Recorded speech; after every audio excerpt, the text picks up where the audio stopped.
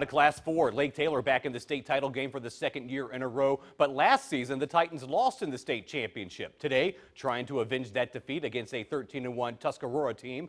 Lake Taylor came into the game sporting a 12-2 record, scoreless in the first. The Lake Taylor defense making a statement. Malik Newton, who surpassed 2,000 yards rushing on the season, shows that he can play defense, gets the interception in the end zone, and still in the first quarter.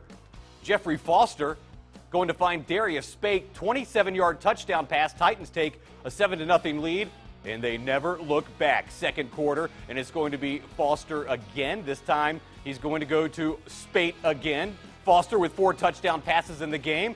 And how about another one? This one to Mr. Everything for the Titans this year, Malik Newton. Lake Taylor dominates Tuscarora 34 to 14. Titans win the Class 4 state championship, their third state title in 7 years. Another championship for coach Hank Sawyer. Now, Hank's wife, Sandra, is the girls basketball coach at Lake Taylor. She has four state titles. So Hank needs one more state title to match his wife.